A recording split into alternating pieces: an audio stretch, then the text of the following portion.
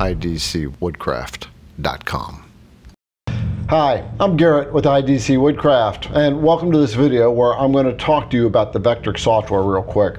I get a lot of emails on a pretty consistent basis from people who have said, Garrett, I have designed this amazing project, I've done all the tool paths for it, and then when I go to generate the code to make my CNC router actually create that amazing project, it won't generate the code. What's going on? It's one of two problems. The first one is you have not selected a post processor. The post processor is a filter of sorts that tells the software how to write the code for your CNC router in particular. If you don't have the post processor selected, then it's not going to write the code because it has to have that.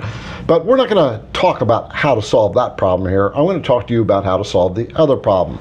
And that is your software, whether it's Cut2D, VCarve, or Aspire, is not generating code because you're using the trial version of the Vectric software. When we download the trial version, which I did, we're not totally clear that we actually can't generate the code until we actually buy the software. So that's really what's going on as to why your software won't generate code, because you're using the trial version. You have to purchase the software. Now I'm going to take you into the Vectric software and show you exactly where where it's saying it, but not being very clear about it. I am currently in the Vectric Aspire version 11 trial version.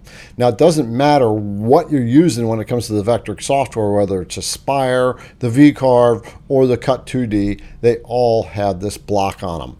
So we've got this very simple project right here, uh, just one cut on a square. And we're going to go into the Save Toolpath function. And I select that, and then we need to select the toolpath. So I select that, and then we need to pick a post processor. Right now, everything looks normal. There's a profile toolpath here. We've got something picked here. What we haven't done is picked the toolpath. And if you look right here, it says no post processor is selected. So we're going to select a post processor, and it doesn't matter right now because it's not going to let me do anything anyway. And I'm going to just select G-code inch. And suddenly we get this warning right here, which says, sorry, the trial version of the software can only save toolpaths for data from the supplied tutorial files.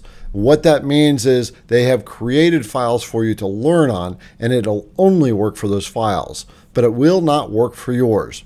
It says, please load an unmodified tutorial file to test machine output. So this is code for, sorry buddy, you can't run your stuff unless you buy me.